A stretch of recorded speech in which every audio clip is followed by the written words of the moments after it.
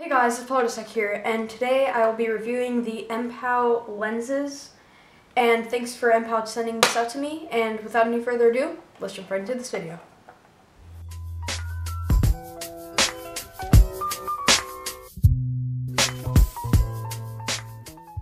Kicking things off with the packaging, it comes in a very nice package. Honestly, I was expecting the lens just to be wrapped in bubble wrap, but no, this comes in a protective hardshell case and allows the lenses to snap into place. When you open up the box, you will find the super wide angle lens, the fisheye lens, and the macro lens. Taking a look at the quality of the lens, they look very sturdy and look well built.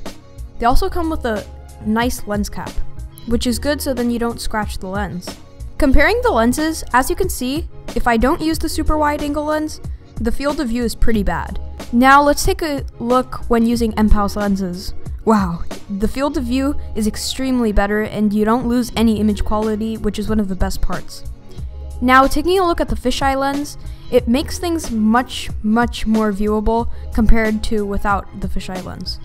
And finally, taking a look at the macro lens.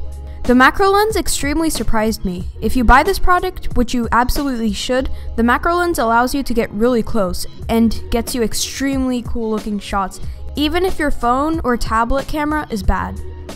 Here is with the macro lens, and as you can see, it was pretty hard getting this picture since I had to keep moving a lot because of the spider, because it kept moving a lot. But after taking the shot, it, it looked incredible. If you honestly gave this picture to someone, I believe that they would be surprised at the results. Guys, thank you so much for watching, and once again, thank you to MPOW, and thanks to Brad for making this video possible. And thank you so much for watching, and peace.